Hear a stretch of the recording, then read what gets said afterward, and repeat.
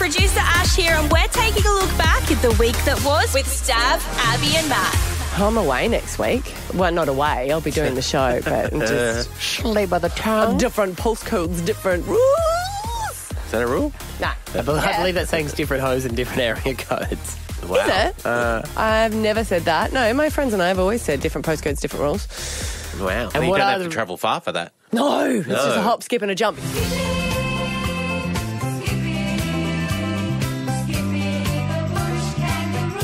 TikTok's gone wild with Americans thinking we ride kangaroos down under. You've Got to be an experienced rider to uh, to ride a big red.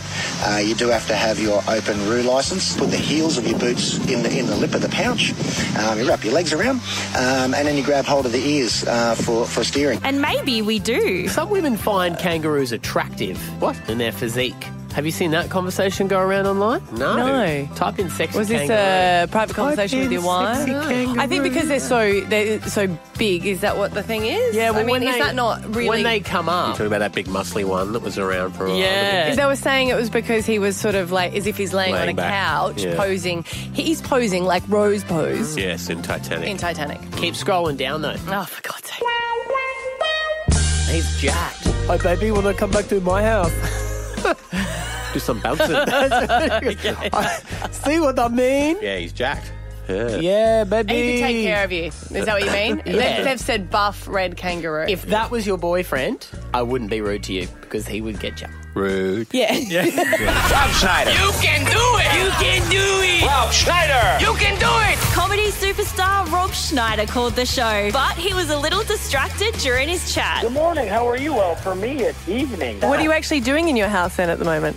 I'm not. I'm actually in storage. You know when you have like, you just have way too much stuff, Yep. and then you have to deal with it eventually. Yep. So that's what I'm doing, unfortunately, and it's really awful. Hate it. The day you knew you had media interviews, you thought, I'm going to go to my storage shed and do some work there while the radio stations in Australia call me.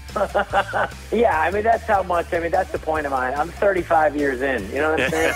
Pressure's off. Yeah. And He's a busy you know, man. Whenever I see like David Spade or Adam Sandler, Chris Rock or Kevin James, I go like, "Listen, guys, if you haven't accomplished what you needed to at this point in your life, what are you stressing about? All right? Yeah, fair now enough. you got to think about early death, heart disease, prostate cancer. Yeah. These are the bigger issues, not what movie you can get. What item do you have in your hand at the moment then?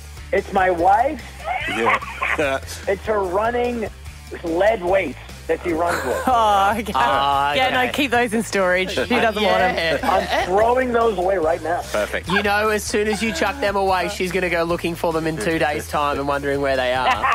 Robert, what did you do with my weights and leg weights? I've been paying, I've been paying rent for them for three years in storage. You obviously didn't need them that badly. That's what I'll do. Abby's long lunch. Abby sorted the invite list for her Gold Coast long lunch. Alyssa in Upper Kedron, you're coming along. Oh, thank you so much. Chantel, you are coming along. Oh my God, thank you so much. Ashley in Waterford, Wes. Hi, thank you so much. It's just a bunch of nice mums having a very civil, very nice lunch. Right? What is your favourite song, Ashley? oh, to the window, to the wall. Okay, this sounds like a lunchtime song to me. Yeah. Can you pass, pass the butter, please? No, Susan, can you pass the salt? I do like it that you said that you're going to bring your friend, uh, your bestie, uh, Miranda, along with you because in your minds you're still in 2012 and still mm, dropping to Flo Rida on the weekends. Every time that comes on the radio, It's I'm the just, low, yeah. low, low, low. Let's actually make this playlist. I'm going to put it on my, We my love this song. Spotify. I'm gonna Thank do a you, little- Huey Boo. A girls playlist. Thank you so much. Woo! All I do is win, win, win, no matter what. Ironic for the casino. Yeah. Now, have you also heard, Caitlin, about our HR manager that the uh, B105 board of directors said has to go? I have. No, I actually used to work for HR, so So you know how to get out of trouble? Is that what you're say, saying? 100% I do. Yeah. We call her Angry Ange Yeah. because she didn't like Fun Sponge, so we, we said to go with that instead. But she She's, going to be monitoring yeah. you and making sure you're all on the straight and narrow. Unless I guess you could corrupt her because you know uh, all about her job. So that this might have been a mistake here. I think my best friend and I will do a good job corrupting Angry Anne. For more fun times and behind the scenes action, head to the LiSTNR app. Until next time, that's a wrap with Stav, Abby, and Matt.